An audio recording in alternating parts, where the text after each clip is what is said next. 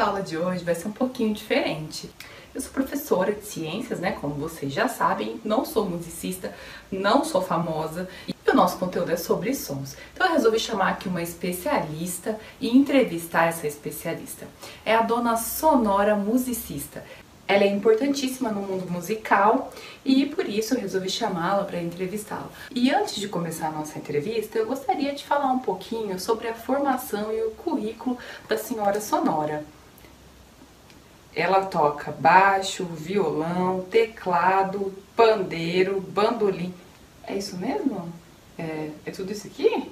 Sim, querida, é tudo isso mesmo. Pode continuar lendo. Ela também é formada em diversas escolas musicais e atua desde 1983 como professora de música e de artes. Ela também é responsável por coordenar a tour de artistas internacionais, como por exemplo a Beyoncé. Ela toca também bandolim, bateria, viola, harpa, e diversos outros instrumentos musicais que eu não vou ter tempo de ler aqui agora. Então vamos começar. É um prazer, senhora Sonora. Ah, é um prazer estar aqui e ensinar para esses alunos maravilhosos do Colégio Geração. Bom, senhora Sonora, os meus alunos estão estudando sobre sons, como a senhora já sabe. E aí eu elaborei algumas perguntas para que a senhora responda para eles e para que eles consigam entender um pouquinho melhor sobre esse conteúdo que não é fácil, não é? A primeira pergunta é com relação ao som.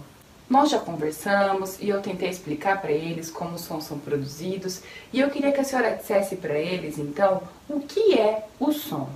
Som, Jéssica, nada mais é do que a vibração do ar. O som ele é produzido quando nós mexemos, movemos alguma coisa muito rapidamente, quando nós batucamos, quando nós apertamos a corda de um violão.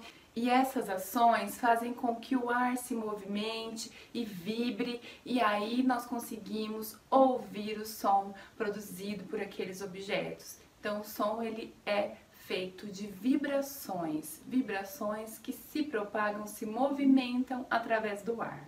E uma outra pergunta que eu tenho, senhora Sonora, é com relação à acústica. Eu gostaria que a senhora dissesse para eles o que quer dizer essa palavra. Ah, essa é muito simples. A acústica é a ciência que vai estudar todas as características dos sons. Bom, dona Sonora, nós sabemos que o som tem características, não é? Quais são essas características? Claro, as características do som são intensidade, tom e timbre. A senhora pode falar um pouquinho sobre a intensidade? Bom, a intensidade nós costumamos chamar de altura, mas essa palavra altura se enquadra, se encaixa melhor lá numa outra característica do som, que é o tom. O correto seria chamar de volume.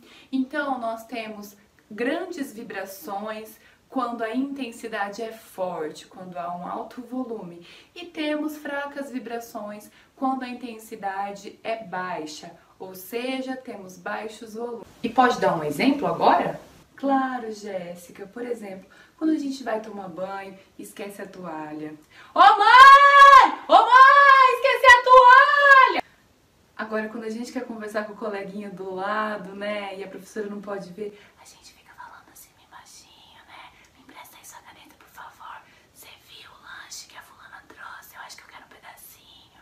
E o tom, senhora sonora?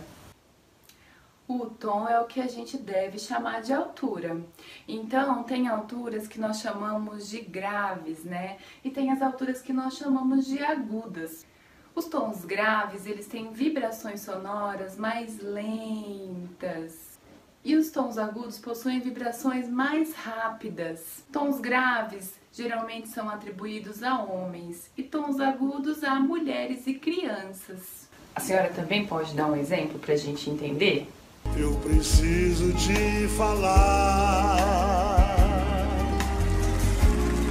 te encontrar de qualquer jeito.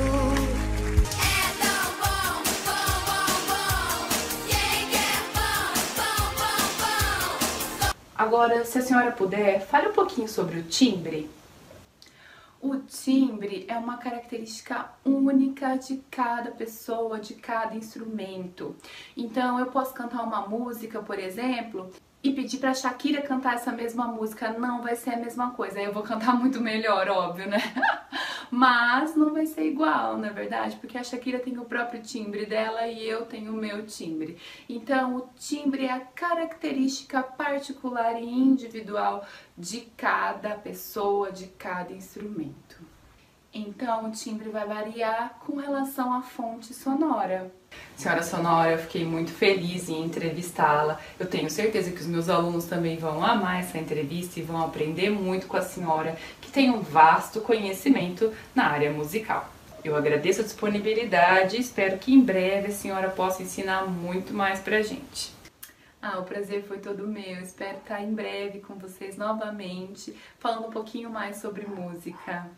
Antes de finalizar essa aula, eu gostaria que vocês fizessem as páginas 54 e 55 do livro de atividades de vocês.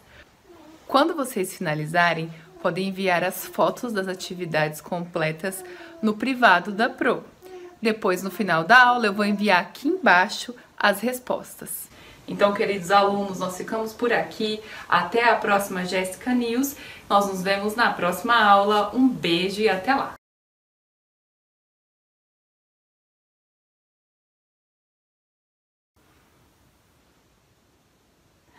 Jeová Jireh!